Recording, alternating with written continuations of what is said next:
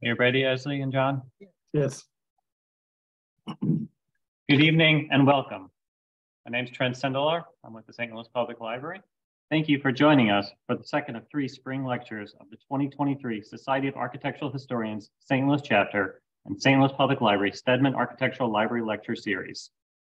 On behalf of the St. Louis Public Library, Steedman Architectural Library, we are pleased to continue our collaboration with the Society of Architectural Historians St. Louis chapter and host this lecture series. Before we begin, we ask that you please mute your devices. Should you have any questions, please type them in, into the Q&A section. If time allows, after the talk tonight, we will pose your questions to Esley Hamilton. And now, I'd like to introduce John Gunther, FAIA LEED AP and architect who serves as president of the Society of Architectural Historians St. Louis chapter.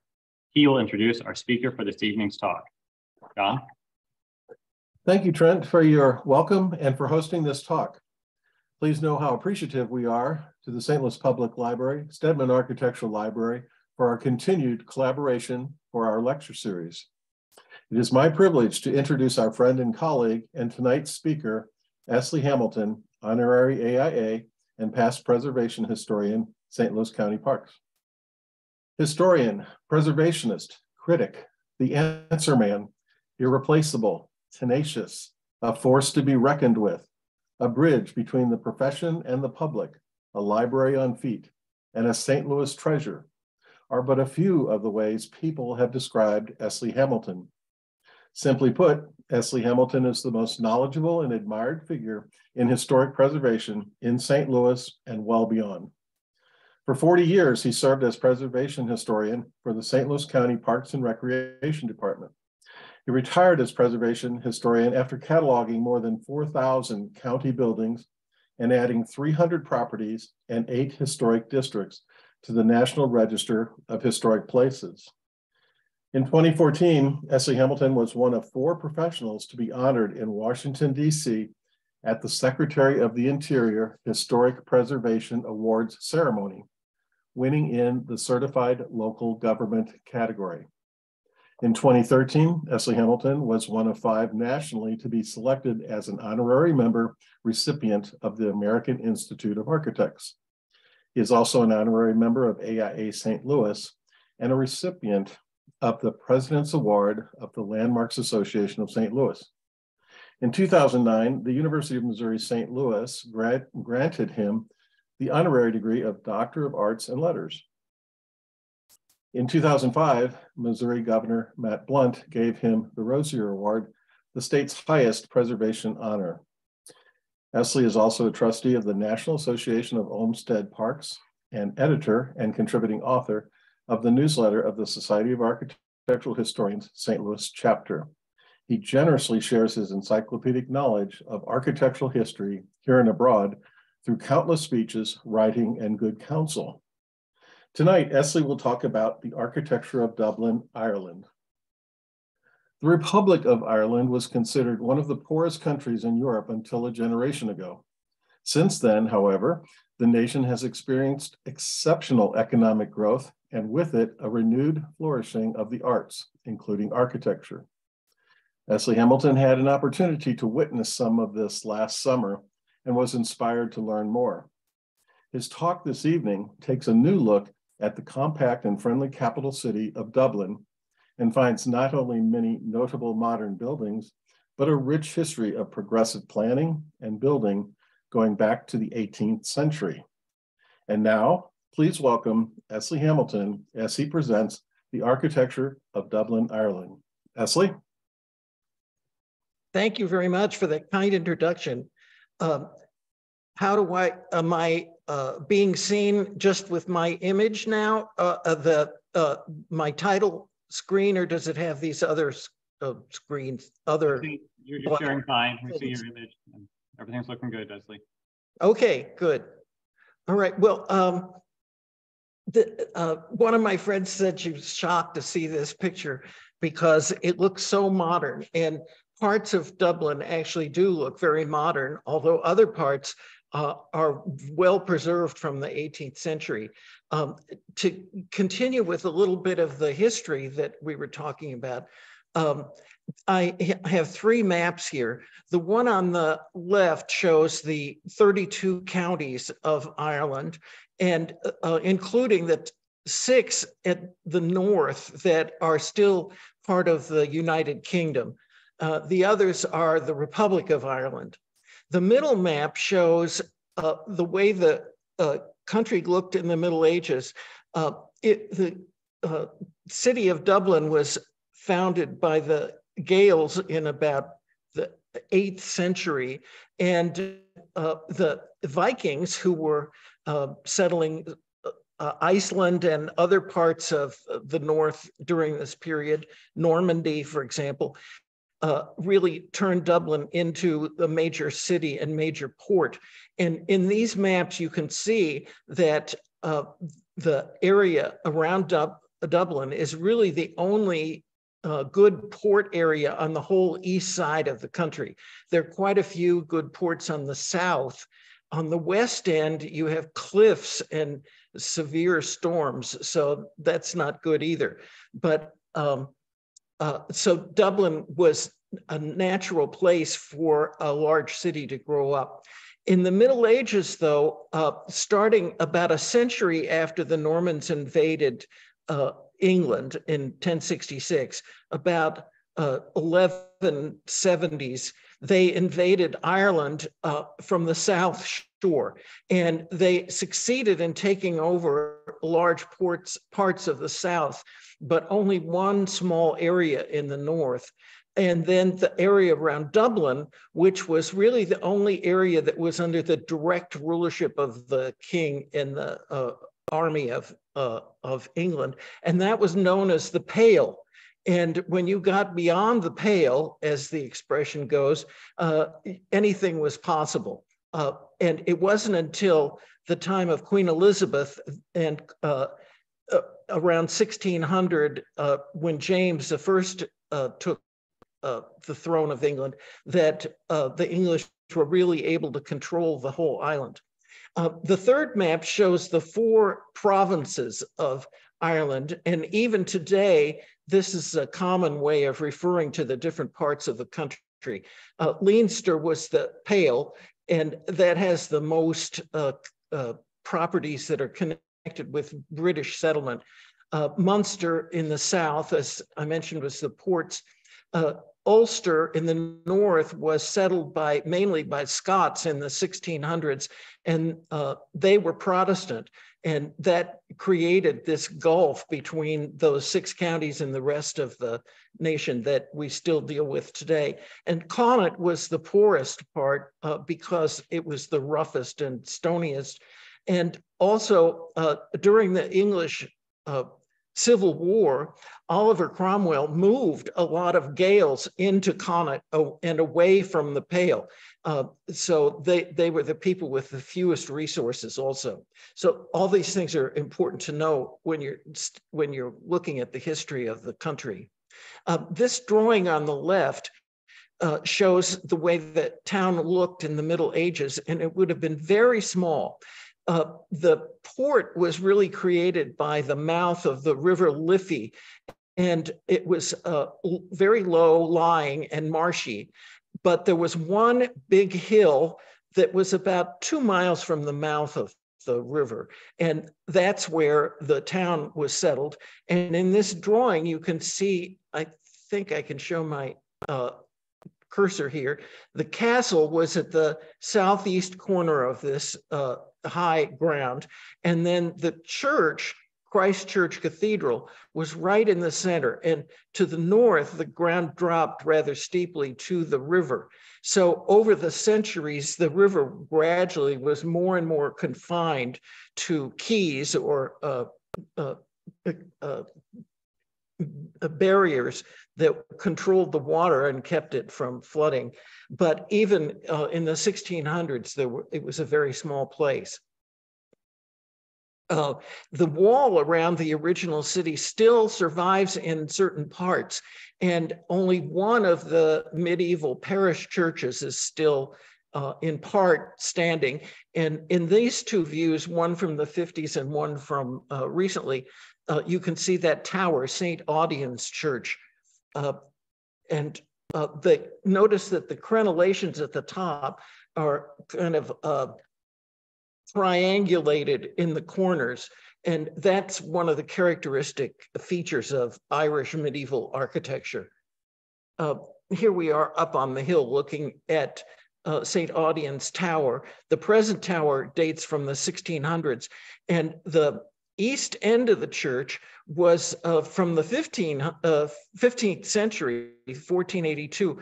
But uh, as the number of Protestants uh, shrank in Ireland, uh, they couldn't afford to maintain the whole church. So they took the roof off the, the uh, choir and the small side chapel, and uh, just the arcade is left there today.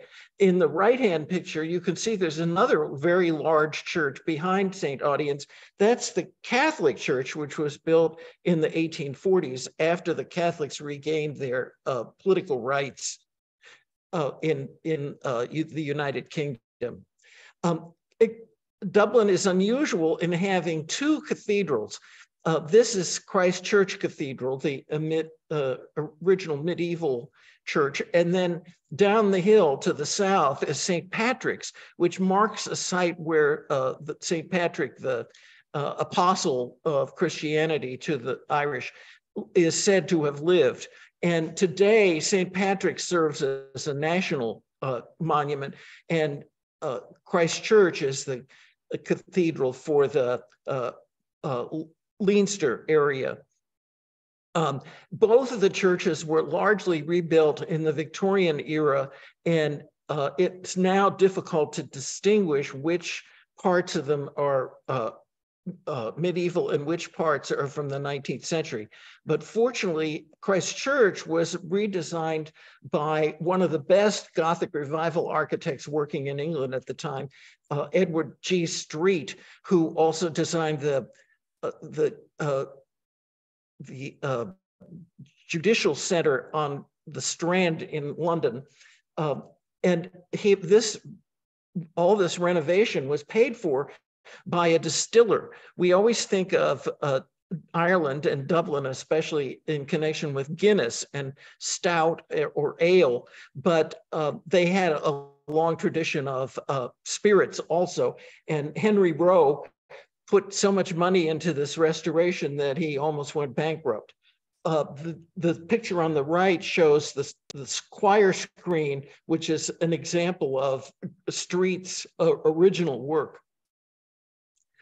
Um, the front of the church is not really accessible to pedestrians because this bridge is going from the west front of the church across the road to another building which was originally uh, designed as a synod house uh, for church meetings. This is be, would be what we would say uh, were maybe Presbyterians, but uh, Irish Protestants. It's called the Church of Ireland. Um, and today, that's an important museum uh, showing artifacts of the Gaelic and, uh, and Viking eras. Uh, this is a view of, uh, of the other cathedral, St. Patrick's, uh, from the south side as it looked in the 18th century before the renovations were done. Uh, you can see that it's rather plain. Uh, and this is the way it looks now from the north side of it. And this beautiful garden was a gift of Benjamin Lee Guinness, who was the son of the founder of Guinness Breweries. And he acted as the benefactor for this restoration. And uh, the church is considerably larger in length than uh, Christ Church. Uh, and the, uh, the cupola or the spire on the tower was originally added in the uh, as it says here in 1749. Uh, so it, it, was not a medieval feature, but it probably was planned. And it's true of many churches in Ireland that they were never completed the way they were intended to be. Uh, the greatest feature of uh, St. Patrick's, though, is this floor, which is uh, tile. It's called Minton tile, but all, all, the patterns actually come from archaeological examples uh, of real medieval floors that probably wouldn't have had such bright colors. Uh, still pretty impressive. The, there are almost no houses left in in Dublin from the early centuries of its existence. And even from the 17th century, there are very few. Uh, the typical house uh, in the that was being built in the 1600s was uh, based on Dutch row houses. And the pair in the center is a very good example. Uh, and then you have simpler examples at the top. But over the years, all of these were either uh, demolished and replaced, or they were remodeled so they looked more like Georgian houses. And in this slide on the left side, you see a pair of houses that had the, the uh, Dutch gable replaced by an additional story. So you have that odd feature of two windows on the third floor, but three on the fourth floor. And uh, you find these even in very sophisticated, uh, some of the more wealthy streets of the city. But very rarely do you find uh, an original one, and they're usually in back alleys and places like that. But there is one that you can see uh, at the bottom of this slide. Um, as the city grew uh, in the late 17th century, they built a canal that went the whole way across the island from the west to the east. And it was called the Grand Canal. And it created a boundary on the south side of Dublin. And in this uh, fairly recent uh, map, you can see that blue line still there. And it still has a beautiful pedestrian walkway along it, and it's lined with trees. And I would say practically every movie I've ever seen that's set in Dublin has at least one scene showing the people walking along that path. Um, later in the early 19th century, they added a complementary canal on the north side uh, of the city, which you see here, and that connected with uh, trains, which were now beginning to take over. And the red line that runs through the city is the very modern uh, it's called Luas, L-U-A-S, which is a streetcar system, uh, which really connects with uh, all the bus system and makes most of the metropolitan area uh, accessible.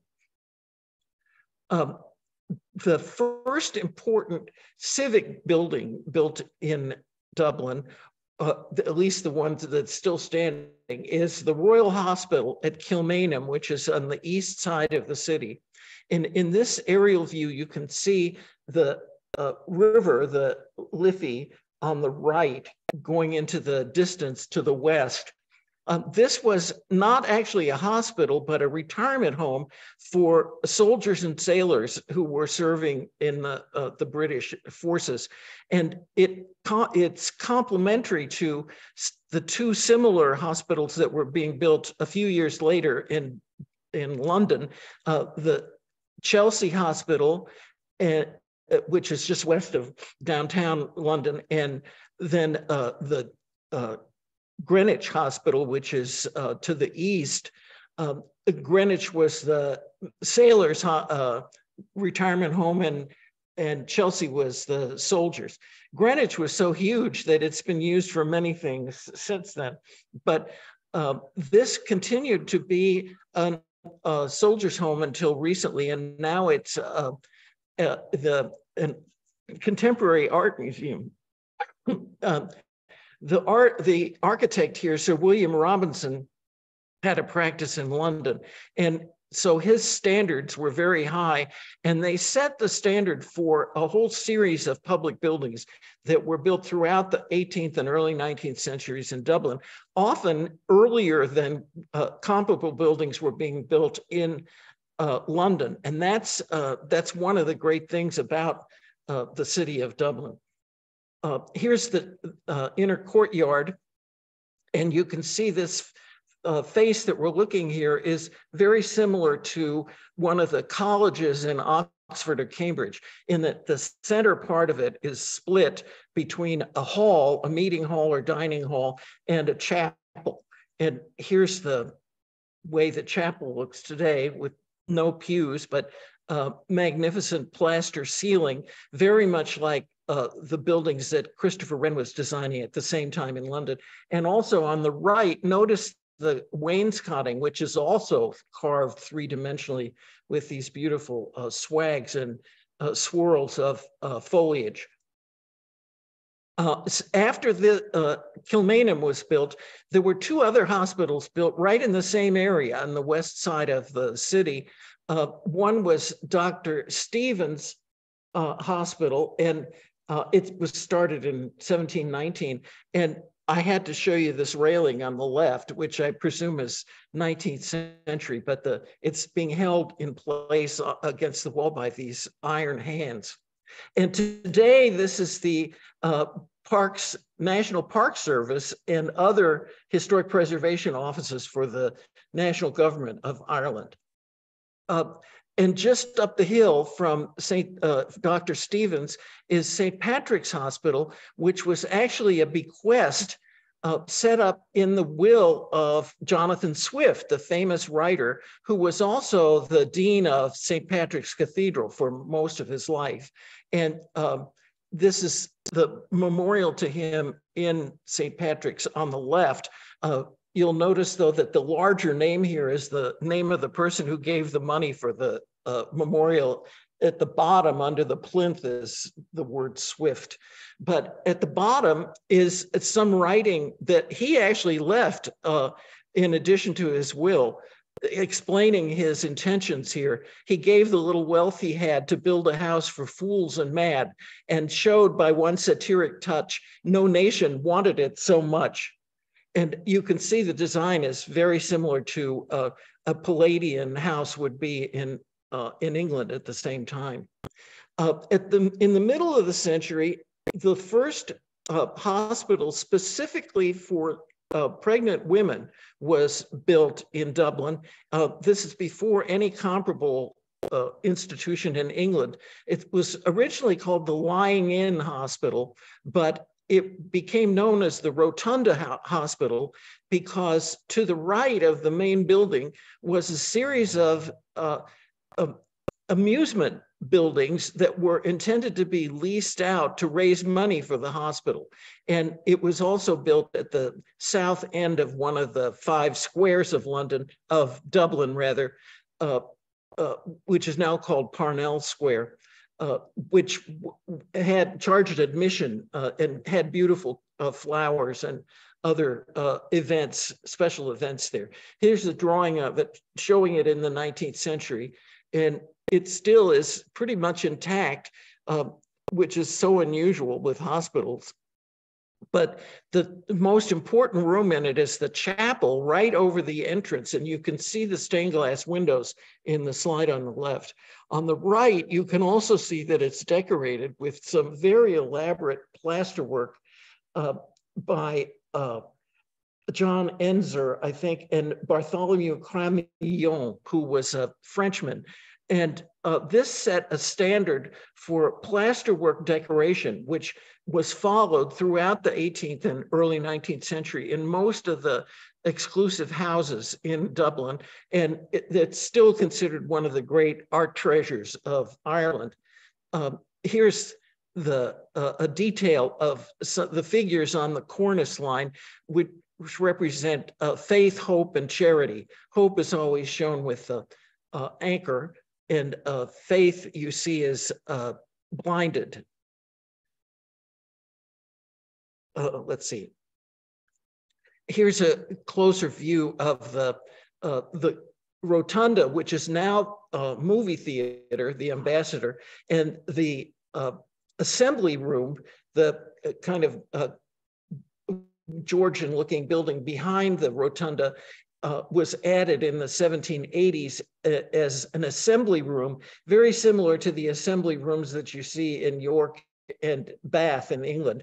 And today that's the Gate Theatre, which is one of the two most important theaters in uh, uh Irish literature It's still active today. The castle, which we saw was already being built uh, in uh, the Middle Ages, it was actually founded by King John, who died in 1216. Um, but it was largely rebuilt in uh, the 18th century uh, piecemeal fashion. The um, uh, different wings were, named after the different viceroys who served here. Uh, the big one with the tower is the Bedford Tower, which would have been uh, the Russell family, the Dukes of Bedford, uh, from the 1750s. And and then on the other side, the this was the state reception rooms and also served as the residence for the uh, the, the viceroy. He, he also had a country house right outside of the city in what is now the main city park, Phoenix Park. And that house is now the home of the president of the uh, uh of the republic, who serves a more or less uh, symbolic purpose uh, rather than the prime minister who actually runs the government. Um, here's the biggest room in the castle is St. Patrick's Hall, which uh, at one time was the home of uh, a knighthood order like the Order of the Garter, the Order of St. Patrick. But after the independence of the country, it uh, they stopped awarding that uh, title, but these flags represent the flags of the men who were the last members of the Order of St. Patrick. Uh, the chapel, well, the tower here is really the only major part of the, the castle that survives, and I think it was kept because it was a stronghold for the money. Uh, the safest part of the, the building complex.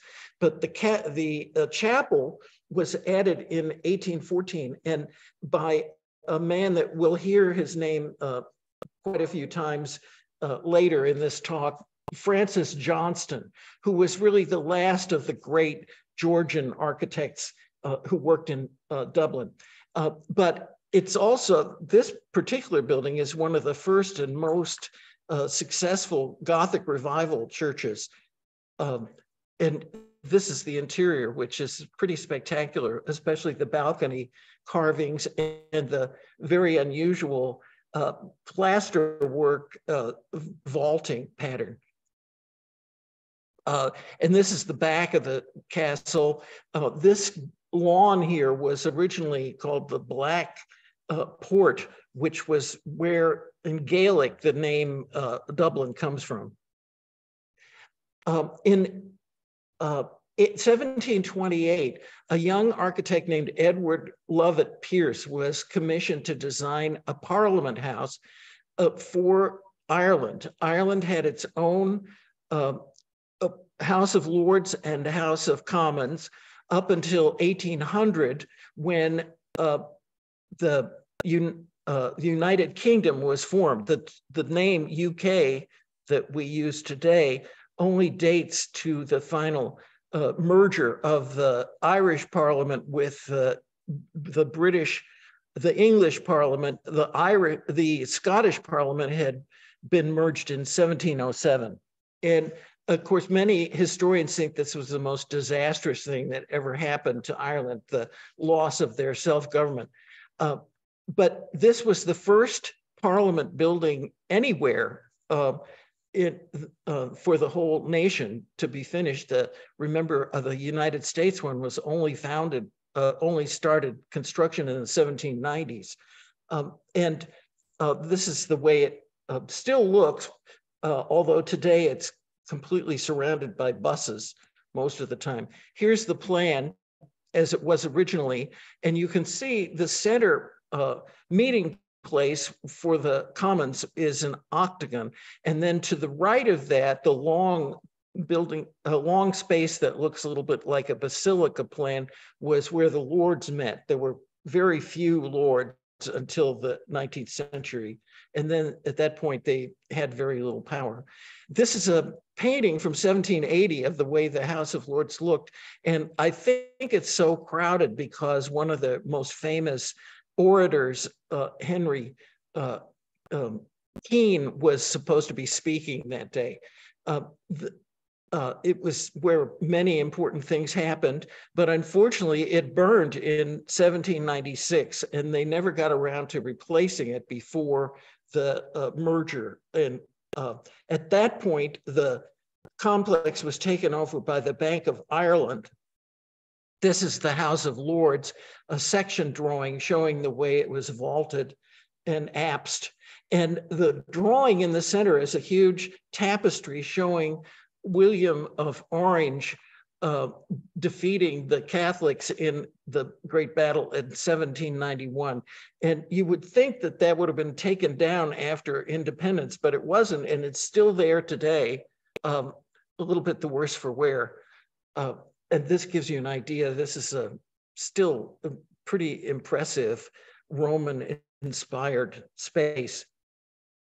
Uh, because the parliament was growing, additions were added to the building in the 1780s.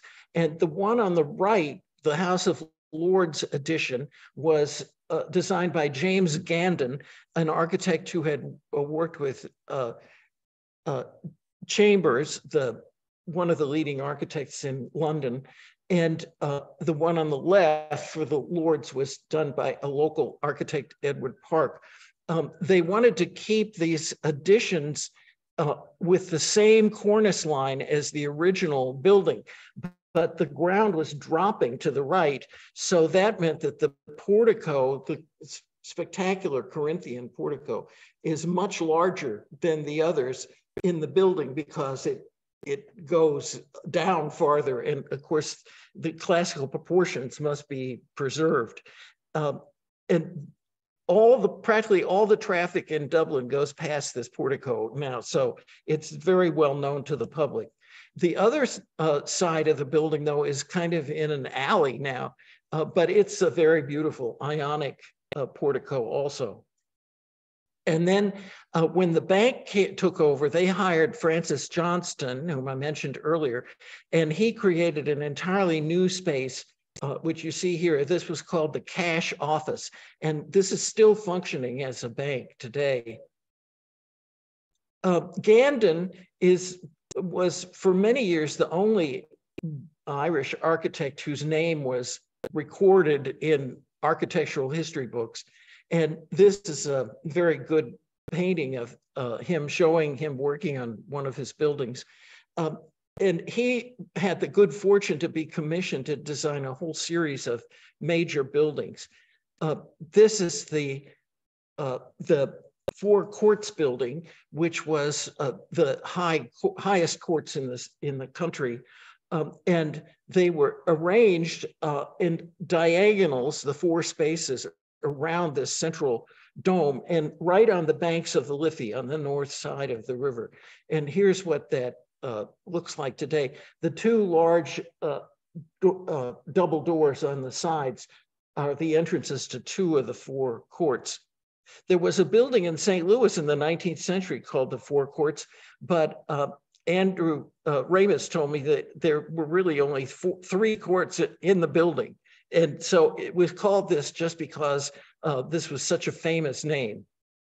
Unfortunately, like many buildings in Dublin, it was gutted by fire during uh, either the uh, rebellion of 1916 or during the uh, uh, revolution that went from 1919 to 1921, or the following year there was a full-scale civil war.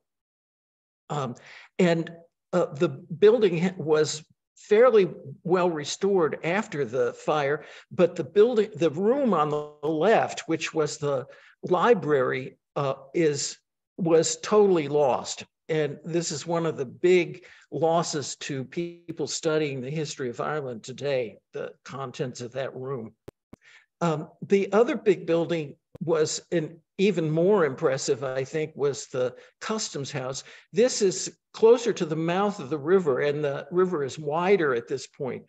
And this enormous length of building really dominates this part of the city. Um, and uh, this is the side, the north side toward the rest of the town.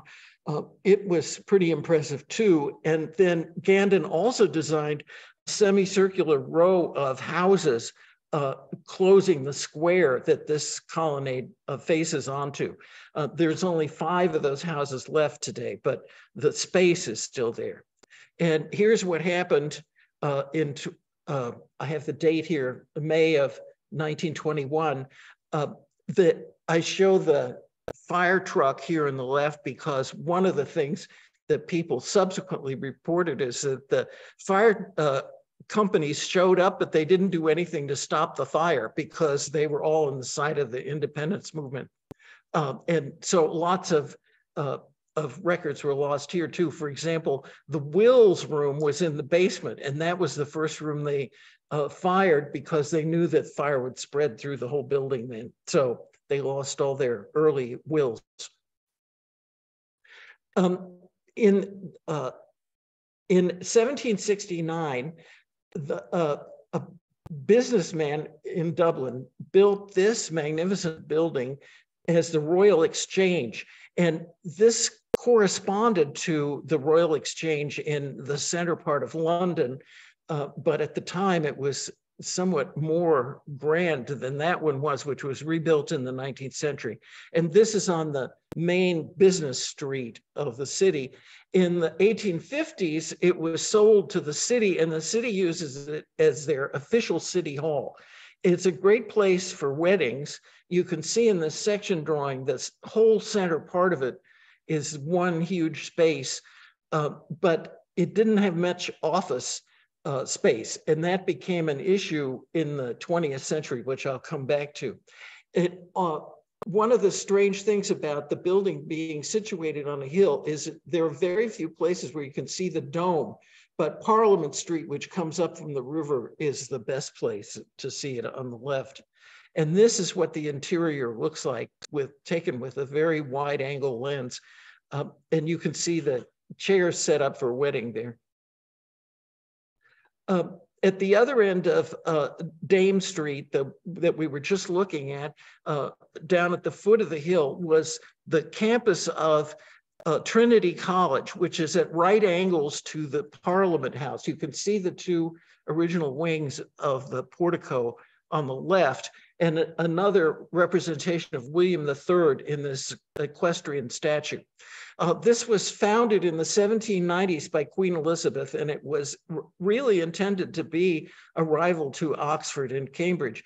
It's much smaller, but it still is very highly ranked in terms of uh, European universities. And the whole campus was rebuilt in the 18th century by some of the best architects of the time. Uh, this is the inside of the uh, room, the building we were just looking at. And the two wings uh, on the right, you see the chapel, and on the left, the corner of the so-called exam room, were both designed by William Chambers, who was, uh, as I mentioned earlier, a Gandon's teacher, and also a close personal friend of George III. Uh, and considered to be the foremost architect in England at the time. And we'll look at a few of his other designs uh, for Dublin also. Here are the two interiors, the chapel on the left and the uh, uh, uh exam room on the right, which probably originally was intended to be a dining hall, but they built a separate dining hall with a much larger kitchen uh, right after that. So this is more a ceremonial room. Um, in addition to the great buildings at Trinity, uh, the Royal Barracks, um, which is now called Collins Barracks, was started in the early 18th century, and it was the first uh, residential buildings for soldiers in the British Empire. Up to this point, the uh, soldiers had either lived in the basement of the palaces or they had been put up with the citizens. And you remember that in the uh, US Declaration of Independence, uh, that's con considered uh, listed as one of the uh, infringes on uh, the liberty of Americans that they would have to put up with these soldiers in their houses. Um, the I believe the present appearance of this complex is from it being rebuilt in the middle of the 18th century. Um, and it, this is what we're looking at here is just about a quarter of the original size of the barracks here, which, which extended uh, pretty far down the river. Uh, and today, this is the branch of the National Museum that deals with uh, what they would call early modern history and uh, arts, uh, decorative arts. There's also a fantastic uh, geology uh, division here. And this building is so large that they're years away from ever occupying the whole thing with their uh, with their collections. The last important building that James Gandon designed was the Four Courts. Uh, I'm sorry, was the uh, uh, was the King's Inns. The King's Inns were uh, like the uh, inner uh, uh, Temple and Middle Temple and uh, Lincoln's Inn in London that were residences and offices for lawyers who were serving in the uh, national court system.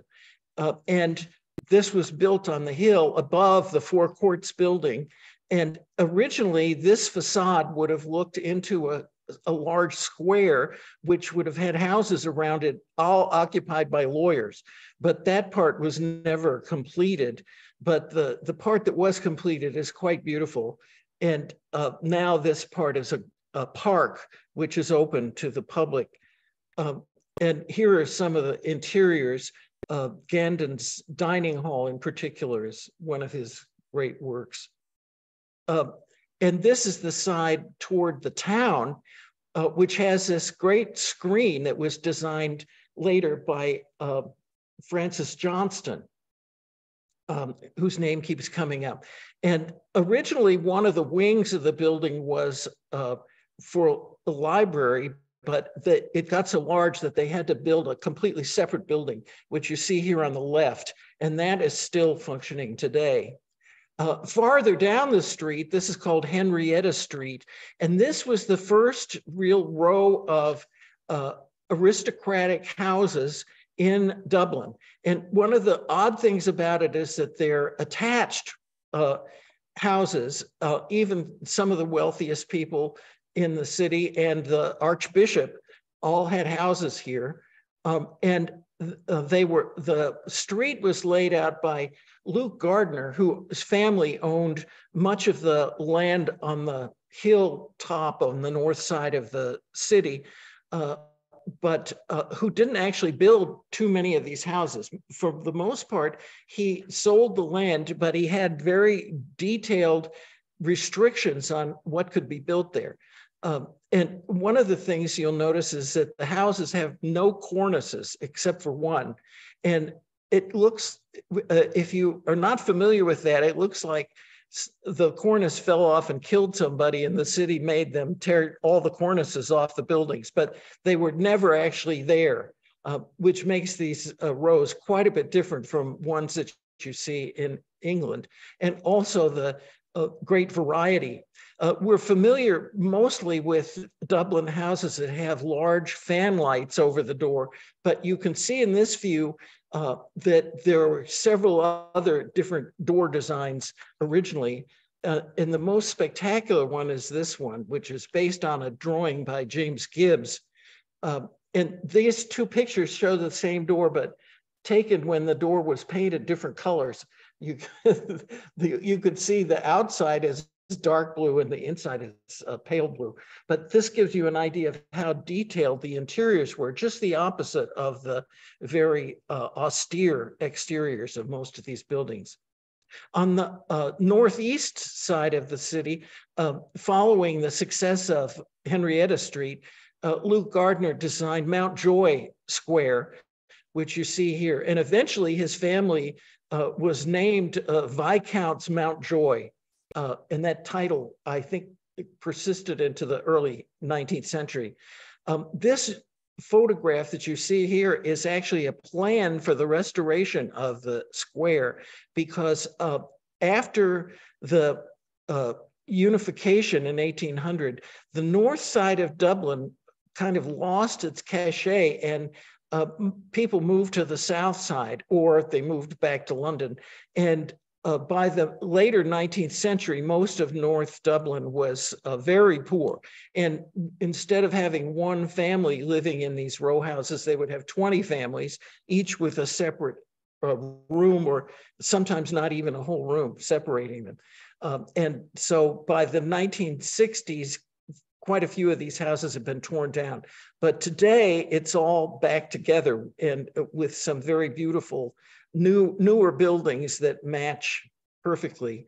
This is a view of the north side of the square. And here again, you can see the differences from one house to the other, although the proportions of the ceilings are pretty much the same. The highest ceilings were on the floor above the entrance because that's where you had the most unobstructed floor space uh, for entertaining. Then the uh, main bedrooms would be on what we would call the third floor and the servants and children on the top floor. And uh, these railings here are an important feature because actually the ground floor is below the level of the street here and it's fully open to the uh, to the uh, air uh, behind those railings and that's where the kitchen is and often there's uh, servants rooms and other family rooms down there uh, by building the squares at the tops of hills, they had declining uh, ground on all sides, and that made it easier to have these uh, partially uh, below ground uh, ground floor levels.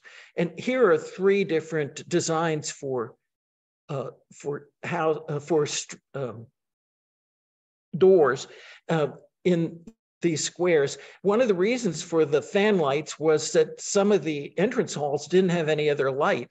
So that was very important to have that. Uh, but you can see that while some of the, the, these three doors have side lights, the red one doesn't. Uh, on the north side, there was one new church built for the Protestants, St. George's, which is really the only church in Dublin that rivals the great churches of London, like uh, uh, St. Martin's in the Fields is the most famous one. And you can see that uh, here it was on axis with Hardwicke Street.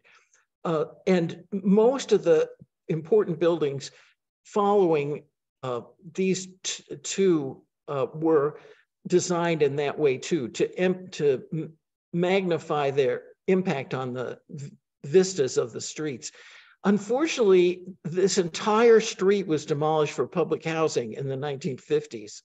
Um, and part of this, the cross street in front of the church was also, this was the street that Leopold Bloom lived on, the one in the right-hand picture, but that house has been destroyed also. In this view, you're looking at the south side of Dublin and um, the uh, square in front of you is St. Stephen's Green, which was not actually built as a residential park, but was leftover land from St. Stephen's leper uh, hospital that went back to the Middle Ages here. And uh, the, the, there still is a hospital on the site of the original leper hospital, but uh, this was uh, a few blocks away. And so it was um, gradually landscaped in the early 1700s, and then a whole series of uh, very large uh, row houses were built around it, some of which have survived. In the distance on the left, you see Merrion Square, which was part of the Fitzwilliam estate.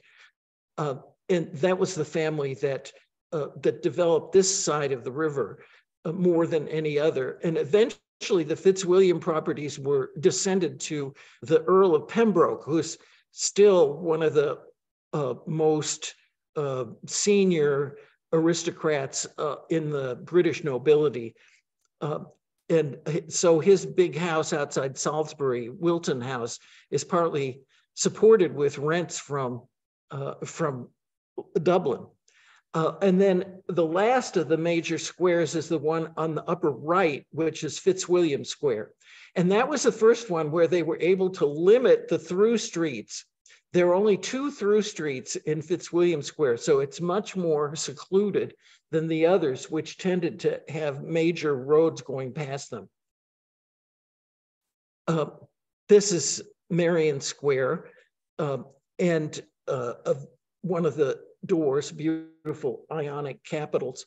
Uh, and this is the north side of Merrion Square. The Fitzwilliams owned a granite quarry not far from Dublin, and they gave a discount to the people who were building houses on their square to encourage them to use granite as their foundations. And then you can see in this case, most of the uh, first floor uh, has granite also. You can also see here how different the, uh, the house designs are from one to the other. Um, another great example of an uh, axial placement of a public building. This is St. Stephen's Church on Upper Mount Street, which is runs right off of of Merrion Square. This was called the uh, pepper canister because the shape of the spire and Fitzwilliam Square here. And this uh, view on the left gives you a good idea of the, the area way, as they call it, the below ground part of the house. Now, the, there were very few freestanding houses in Dublin, and they were all very important. And the, the first one was built long before the others. It was actually built by Dawson to uh, uh, encourage the city to buy it for their for their mayor, and so it still is called the Mansion House ever since 1715. There is a Mansion House in downtown uh, London also in the city, but it wasn't built till years after this. So this, as far as known, this is the oldest uh, official mayor's residence of any British uh, uh, city. And uh, because it was used for so many public events, there were additions added to it. And the most important one was this strange looking uh, feature here at the end of this little side street, the, uh, the round room, they call it. And in this view, it looks like it's very small, but here's what it looked like when the first meeting of the independent parliament of Ireland took place in 1921. And you can see it's a very large and impressive building. Uh, another important freestanding building was the provost's house at Trinity. And I don't understand the word provost, but I think that uh, in this case, the provost must have been more important than anybody who might have been called chancellor because this is one of the great houses of Ireland.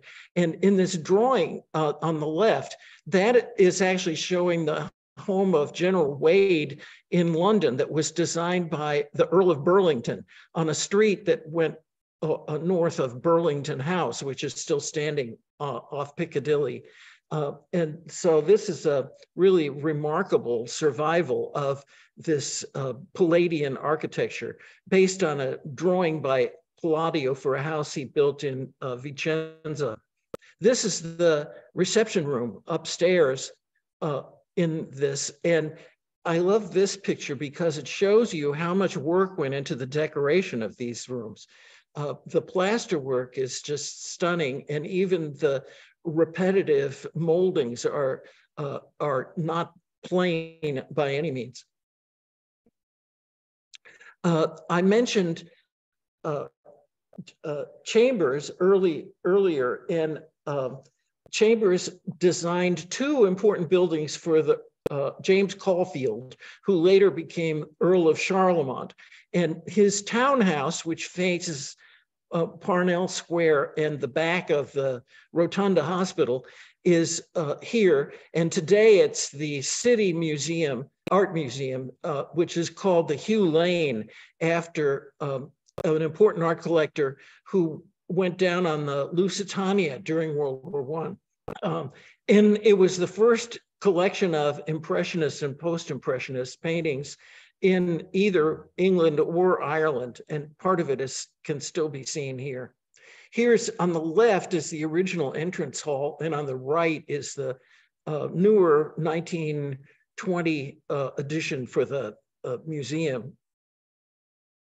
And Charlemont eh, had a country house that was just a couple of miles northeast of uh, central Dublin uh, uh, called Marino.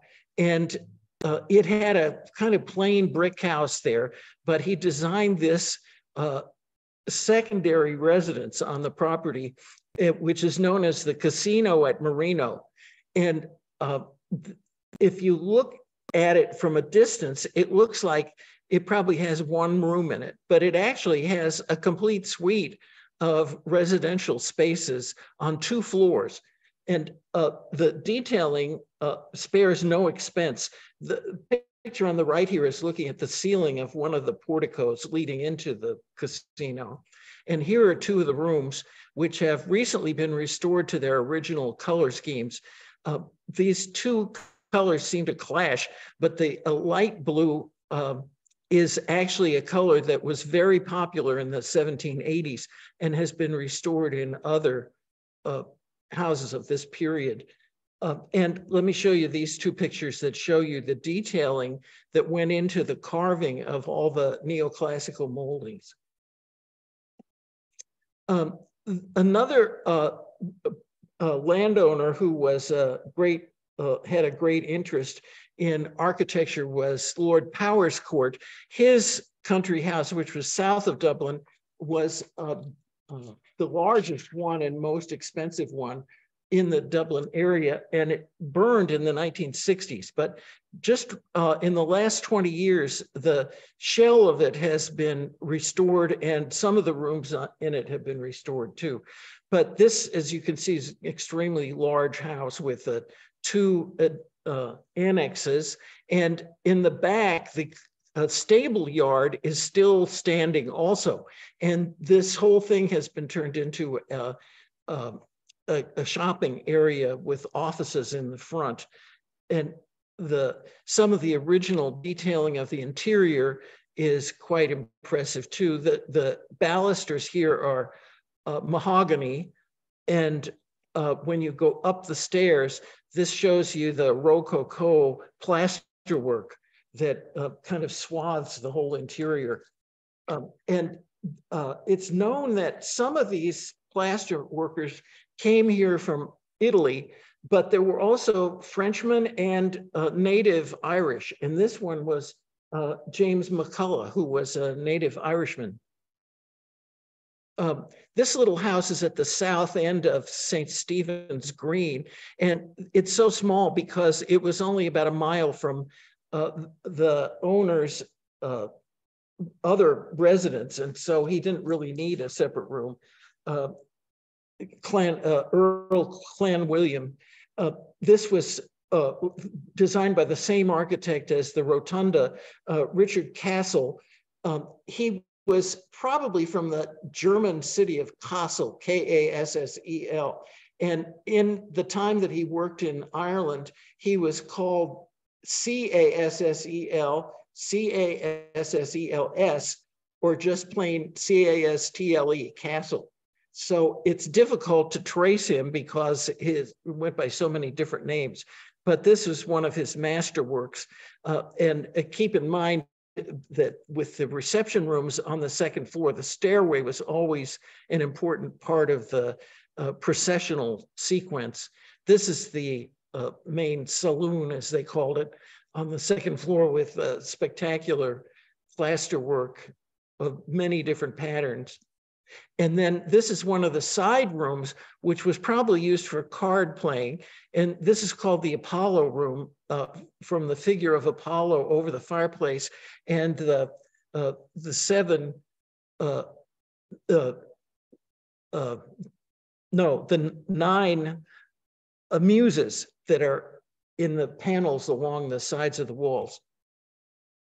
Uh, right next to Clanwilliam House is Newman House, which is named after uh, John Henry Newman, who became a, a, Catholic. He started out as a uh, Episcopal bishop and uh, ended up as a Catholic cardinal. And he founded the Catholic University of Dublin, which is the largest university in Dublin today with a very large suburban uh, campus. But originally, the four buildings that you see here, including the little church entrance on the right, were the whole campus. And gradually uh, they spread out and, uh, and then uh, moved in the 1960s. Uh, we'll come back to see the chapel uh, later. But this is the entrance to the original huge Newman house from the 1780s. This is the staircase plasterwork. And this is the blue room, which is off to one side. Um, another important Catholic institution was Belvedere House, which was founded as a boys' school by the Jesuit order, although the house had been built for somebody else, but they moved in there shortly afterward. And it has some of the most beautiful plasterwork, although I don't think this dark blue is the original color. But here are two of the saloons, and you can see the goddess Diana at the right uh, with her moon crescent behind her and the deer uh, pulling the carriage. But on the left, you have this abstract pattern. This was the uh, the uh, Venus room, and that was too much for the Jesuits to take. So they took down the central roundel and put this uh, abstract design in. Uh, the beginning with those, you can see that gradual influence of the neoclassical movement that eventually replaced the Rococo uh, wild, uh, free designs with more uh, uh, archaeologically correct Roman and Greek patterns. This house was for Lord Kenmare, and today it's accessible as the James Joyce Center, uh, which has wonderful collections. But they've also restored all the 18th century decoration. Um, the staircase here has at least three different shades of green uh, in different parts of the architecture. And this uh, room here with uh, garlands of ivy and uh, my favorite is the Royal uh, Academy of Music. Uh, there are quite a few uh, scholarly institutions in Dublin that still have royal in the name, even though they are located in a republic now. But uh, this house uh, from 1771 has decorations that you might have seen in a house in London by Robert Adam uh, particularly the ceiling on the right. And uh, on the left, you see one part of the fireplace mantle. The biggest house by far in the, in the country was uh, the home of the Duke of Leinster, who also had a huge mansion only about 16 miles outside of Dublin uh, called Carton. He was the only Duke in the Irish uh, nobility uh, and owned probably more land than any of the others. And uh, this house is often said to have inspired the design of the White House. One of the reasons for that is the alternating round and pedimented uh, designs over the main windows. Uh, but there are other houses uh, in Dublin that have that feature also. This is the main lobby. And uh, in 1815, this became the home of the Royal Society of Dublin, which was a very important cultural institution and is still active today. Uh, but in 1921, it was taken over as the Parliament building, and the Great Hall upstairs became the, the Senate, replacing the House of Lords. And the uh, this room, which had been designed as a lecture hall, in 1893 became the uh, lower house. And they're still there a century later. Uh, the last great modern uh, building in the city was the General Post Office, which was probably the greatest work by uh, Francis Johnston from 1814. He had already designed the great Nelson column uh, in 1808 that faces it. And of course, that was blown up by uh, Republican uh, radicals in 1966. One of the jokes is that the, when the radicals blew up the column, uh, there was no damage in the rest of the town, but when the rest of the column was taken down by the government uh, engineers, it blew out every window on the street. And I'll come back to this street later. Uh, in another important event of the 18th century was in 1829, it was the so-called emancipation of Catholics. This meant that Catholics who had been denied most uh, civic uh, rights under the British were returned to full citizen status. So they could vote, they could own land, and the Catholics could also uh, buy land to build churches on. Whereas before, the churches had been uh, behind other buildings or in alleyways. And uh, one of the first buildings, even before the emancipation, was the Pro Cathedral, which unfortunately had to be built on a minor street, uh, but it's still one of the best uh, neoclassical or uh, particularly Greek revival uh, buildings of that era. You can see the Doric, uh, Greek Doric columns that are used throughout this building. Um, and on, in 1829, three new Catholic churches were started the same year as the, uh, the emancipation. St. Nicholas, as you can see, was still in the location uh, back from the main street, but uh, it's still a beautiful uh, neoclassical building. Um, St. Andrews is flush with the street, and but it's kind of disguised by the fact that it has a rectory and a nunnery on either side of it, so that it looks like part of a row. And uh, this is the interior there. And then the most impressive one, I think, is St. Paul's from 1837, which is right on the river, just a block down from the four courts. And so this told everybody that the Catholics were here to stay. And I showed before the Catholic uh, building for St. Audoen's, uh, which it, it took almost a century to complete. Even the railroad stations tended to use this neoclassical style. This is the Heuston station, which has two of these towers. You can hardly see in the view on the left there, but there is a tower sticking out. And um, this is the Harcourt Street station. Uh, this is uh, the one Catholic uh, Gothic revival church that was really significant, designed by the son of uh, Augustus Welby Pugin, who really uh, popularized the use of Gothic architecture. And uh, then this is the university church, which was finished in the 1860s. And it uh, Newman wanted it to be just a plain box, but you can see they made it a very uh, eye-catching uh, kind of uh, Byzantine interior design. Uh, the Victorian period was dominated by one architectural firm uh, founded by Thomas Deane, who you see here on the left, and his son, uh, Thomas Newenham Deane.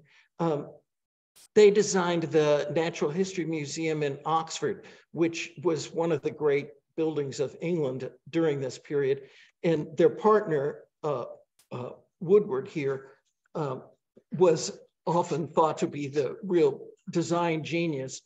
But they designed two important buildings for uh, for Trinity. This was the old Trinity Museum, which had great carving and a spectacular staircase hall that runs the whole length of the interior of the building.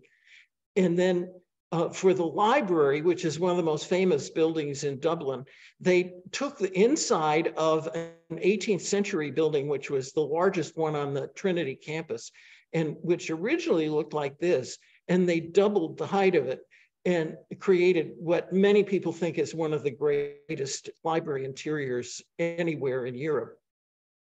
Um, and then in the 1890s, the Royal Society uh, hired the grandson uh, uh, to design the uh, a whole complex of cultural buildings, the Natural History Museum, the uh, National Gallery, the National Library, and the Natu National Museum. And they're clustered around uh, Leinster House and what had been known as Leinster Lawn. And in this view, the Merrion Square is off to the right in the distance. Here's the Natural History Building. They're all great examples of Victorian design. This is the uh, uh, art museum, which was expanded twice. And this is, are the two original rooms. The library with the reading room here and the uh, history building, which is now, this is devoted mainly to archeological and medieval things, including all the great uh, bra brass and gold things that have been found over the years. This is the lobby, and this is the main exhibit hall. And you can see the uh, buttresses here are iron.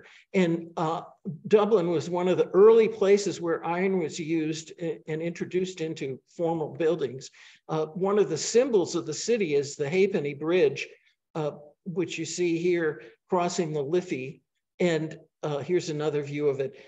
The, there was a commission that commissioned this and they uh, offered the land at the far end of it to the Merchants Guild if they would build a tunnel through their building to let the pedestrians get through. And you can see it's still in use today.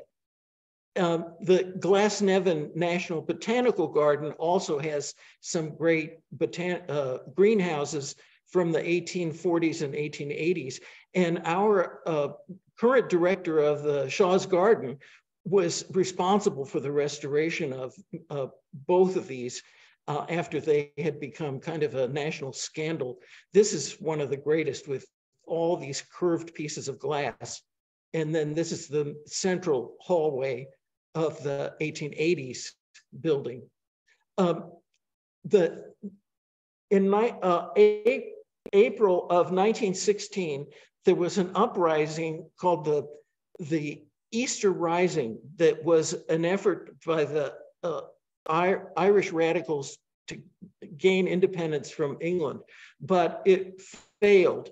But the result of it was that this street, uh, Sackville Street, as it was known then, uh, was practically all the buildings were destroyed. And uh, this had been the most, uh, the widest and most impressive residential street in 18th century Great Britain. Uh, it now is called O'Connell Street after the man who got the legislation through for uh, the emancipation. Uh, uh and you can see O'Connell's statue there uh, on the bridge, but this is what the street looked like after the Easter Rising. This is what the General Post Office looked like. It, the whole thing had been gutted. But uh, in the in the especially in the 20s when the country became independent, it became an, important for them to restore this street, O'Connell Street. And it still is one of the grand examples of that era. This is what the, uh, the main room of the library looks like now. And this is the uh, arcade that was added to the building in the back. And then these are some of the other buildings that were built along the street. Clerys was a department store, and this is based on a design by uh, Daniel Burnham that he designed for Selfridges in London. And uh, the hotel, Gresham's Hotel and the theater, all of these buildings are, have been re-restored just in the last 10 years. Uh, and so that the street is looking better and better. Um, I'm jumping ahead to modernism. Uh, the the bus station was really the first modern building built in Dublin, and it uh, attracted everybody's interest, uh, partly because the Department of Social Welfare was in the building. So it was a building of some presence, and a lot of people came and went there uh, in addition to the uh, bus riders. But it was designed by Michael Scott, who was just in his 20s at that time. And uh, he started a firm which is still one of the major ones in Dublin. And these are the uh, the murals, I mean, uh, mosaics that are on the undersides of the roof overhangs, both at the ground floor level and the upper levels. Um, in contrast to the bus station, this building uh, called Liberty Hall was not well received because it was the first high rise in the city and it seemed to ruin a lot of the vistas along the river, especially to the customs house. The name Liberty Hall seems odd, but this it replaced the former building of the Irish Transport and General Workers Union, which had been bombed by the British in the 1916 uprising. And so the site was an important part of Irish history. And the new building was uh, actually commissioned by the same uh, union. And, and, they're still there today. Now it's a landmark, of course, but uh, for many years after that, it kind of soured the taste of the Irish for modern buildings. And uh, but the person who had the, the most deleterious effect was a man named Sam Stephenson. This man is the man who was his big uh, uh, enemy, uh, uh, Desmond Guinness, who founded the Georgian Society when he heard that they, uh, the gas company was tearing down 16 houses of, from the Georgian era on Fitzwilliam Street to create a new office building that could have been anywhere. Um, and this was a very bitter battle, which the preservationists lost. And this was built in its place. The brick that Sam Stephenson chose uh, didn't last and it had to be stuccoed over. But uh, just a few years ago, this was removed, and I'll show you the replacement later. Here's a view of Sam as he was at the time.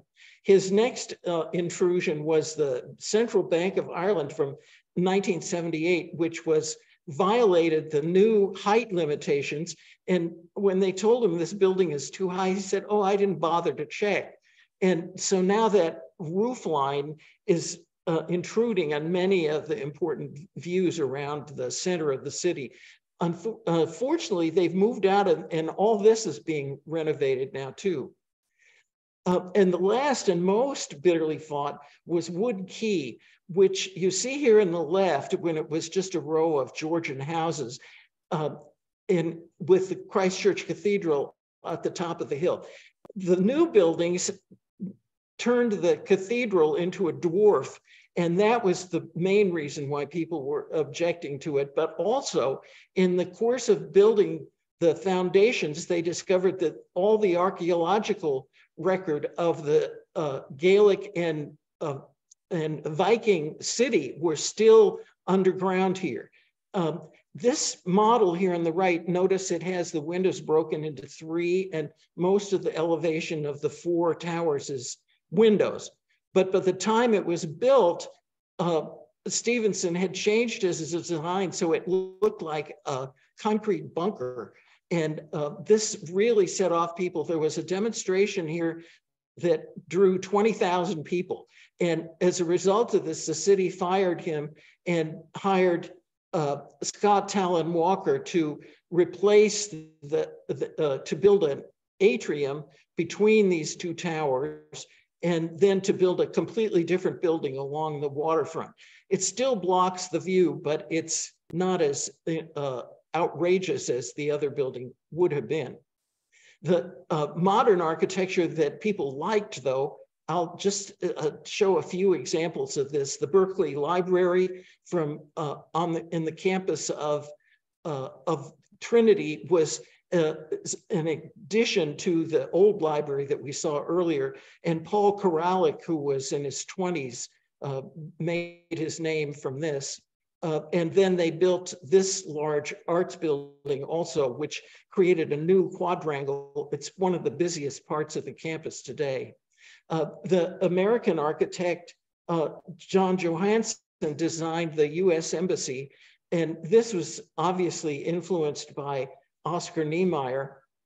Here's Johansen as he looked, and it's quite small uh, compared to the photos that you might have seen of this. You can see the uh, atrium in the center there. Uh, and uh, compared to his drawings, you can see that he modified it quite a bit uh, in the course of construction. It's still in great shape, as is this building, the Texaco House down the road, which is another example of the influence of Oscar Niemeyer, that kind of sculptural, uh, almost plastic look. And of course, Mies van der Rohe influenced uh, the uh, Scott Tallon and Walker very much. This was the first Miesian building. And then they designed a whole complex of three buildings for the uh, Central Bank of Ireland when they moved out of the Parliament House. Uh, and they called this, when it was renovated, Miesian Plaza. And I'll skip over this. Uh, just uh, two years ago, an Irish architectural firm won the Pritzker Prize. And I didn't realize at the time it was two women. They go by the term Grafton Architects, which is just the name of the street where their office is. But uh, Shelley McNamara and Yvonne Farrell, they've now done buildings all over the world, but they did several uh, smaller buildings in Dublin, including this square, which has summer uh, awnings built over it. And this is what it looks like in the winter. Uh, with they designed these three buildings, but a very a small scale. And this is the building they built to replace the gas company building that tore down the 16 Georgian houses. And uh, this is very much uh, uh, approved of by Dubliners. You can see the Miesian Plaza in the back of this picture behind these buildings. And the, here are some buildings that have been rehabbed using modern design. The Centenary Methodist Church uh, and two other churches. One is now a brewery and the other one is an office building. Uh, there are two bridges by uh, uh Santiago Calatrava. The James Joyce Bridge from 2003, which is a, a automobile bridge, and I'll skip over this. And then the uh, the Samuel Beckett Bridge, which is near the mouth of the bridge and is intended to be uh, an, a representation of the harp that's the symbol of Ireland that appeared on the British flag for many centuries. Uh, the Aviva Stadium is a, a, a great uh, uh, football pitch, soccer pitch, and uh, this was one of the last buildings by Ronnie Tallon of Scott Tallon Walker. With, the firm is still continuing though. And this is my favorite recent building they designed. This is the commission that's responsible for all the lighthouses around the shores of Ireland. And uh, it's built like a kind of squat lighthouse itself. And another building that's on a circle is the, uh, the Criminal Courts of Justice by Henry Lyons. Lyons actually died in 1947, but the firm is the largest one in Ireland today. And uh, it has won the Firm of the Year award quite a few times. Uh, this is the uh, atrium of this courts building. So this theme of circular buildings continues. Uh, and this is a recent bank building they did with another spectacular atrium. Uh, Sheila O'Donnell and Thomas Tuomey won the RIBA Gold Medal, which is another very exclusive architectural award. Uh, and this was their community center named for Sean O'Casey, which looks like some of the, uh, the uh, Japanese architects that we've seen recently.